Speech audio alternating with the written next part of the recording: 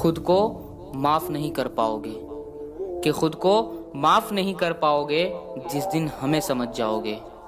और ये हुआ, वो हुआ, इसने किया, उसने किया। सुन, नक्शे दिखाने की ज़रूरत नहीं है। कि ये हुआ, वो हुआ, इसने किया, उसने किया। सुन, नक्शे दिखाने की ज़रूरत नहीं है। और बातों में आ गई, गलती हो गई, अब नहीं होगा। फिर सुन। अपने बाप को सिखाने की ज़रूरत नहीं है।